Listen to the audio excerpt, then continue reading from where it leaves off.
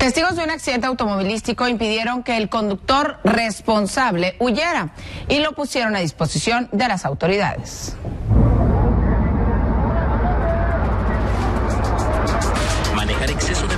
y la falta de pericia del conductor de una camioneta de lujo fueron las causas que provocaron un accidente donde cuatro personas resultaron lesionadas en la colonia Pensador Mexicano de la alcaldía Venustiano Carranza, mientras el conductor de la camioneta de aproximadamente 30 años de edad circulaba rebasando los límites de velocidad sobre circuito interior en su tramo Río Consulado, perdió el control de la camioneta y se direccionó hacia la parada de un transporte público, donde arrolló a dos masculinos y dos mujeres para terminar su recorrido impactado en un poste.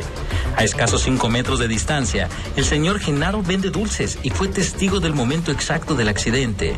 Pues una muchacha como de 30 años fue la que llevó la mayor parte, que se le desprendió, se le floreó toda la pierna, toda la pierna le quedó en forma de seta, totalmente descubierto de la piel. Otra muchacha que quedó entre la pared y la, la defensa del carro, también pequeñas leves y otro muchacho conocido que también lo aventó, es decir, lo llegó a aventar unos 3, 4 metros. Se le, yo creo que va a tener fractura en el cráneo porque se, se escurrió sangre.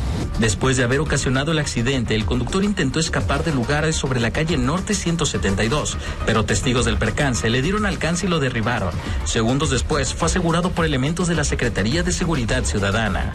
En ese momento yo estaba dentro de la óptica hasta que de repente una chica se paró ahí en la entrada y luego de repente eh, llegan varios hombres y siento que, rompieron el vidrio. Ya salgo y, y en ese momento agarraron a, a un cuate ahí. Entonces en ese momento se lo llevaron para acá.